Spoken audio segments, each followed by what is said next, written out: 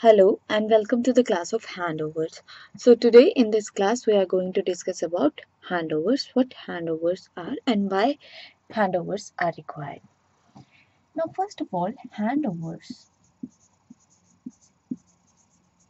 Handovers has a requirement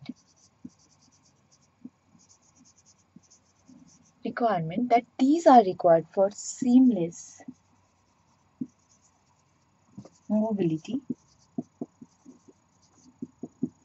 or seamless connectivity. So that means whenever we are moving, we don't require cord, cord breakdown or connection breakdown. We require that there should be seamless connectivity or seamless mobility whenever we are moving. So for this requirement, we have a concept of handovers like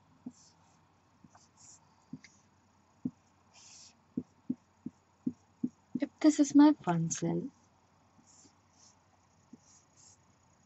and this is another cell. Okay, so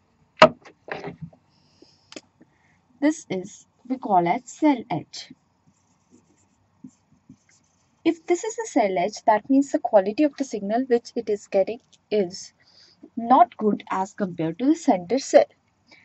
Now if we have a user equipment, it starts moving, UE starts moving and it reaches the cell boundary. So it always send MR. MR stands for measurement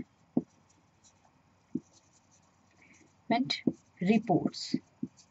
This user equipment send measurement report to the cell that cell I am going to a poor network area please grant me handover to another cell.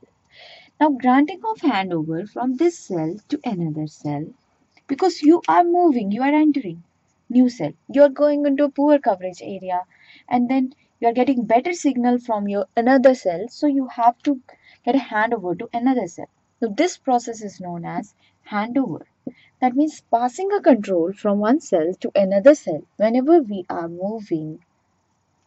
So this process is known as handover. That's why they are required for seamless mobility. Because if we are moving in an area in which we have a number of cells connected, for example, cell 1, cell 2, cell 3, cell 4, cell 5, here we have to reach. Here is the user. Now user has to reach this point. Starting a call. Now this is home cell. This is foreign. Now it reaches here. Now this will become home. This is a foreign. Again home, foreign. And it reaches here. That means this user reaches here after passing through a number of cells and each and every cell has given a handover to it. So this is a process which is known as handover process and why it is required it is handover is required for seamless mobility for seamless connectivity now if we talk about the types of handovers, so handovers are always of two types hard handover and soft handover.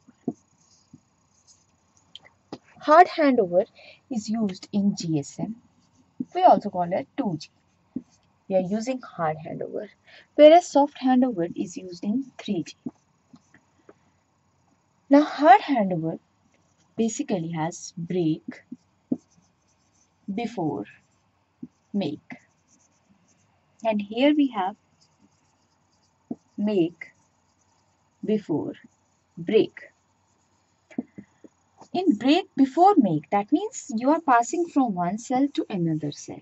If you are make, a connection, you have to break first from here and then you have to make. That means first you are breaking from your home and then you are making with your foreign network. For example, this is a call and if this is one cell, this is another cell. This is a home, this is a foreign. It has to pass to another cell. So it will break first. It is releasing first, then it is making. It is break before make. Now this one is used in hard handover concept 2G whereas in soft make before break so if it is pass it has to make first then it will break so here this is a process first this is a second here this is a make then break So if this is a call from one cell to another cell, it will make first. When it will make, then it will release. So this is make before break. So this is a concept of handover or type of handover which is used in 3G and this is in 2G and handovers are basically required for seamless mobility and for continuous mobility we require a process and the process is handover process. This is handovers. Thank you so much.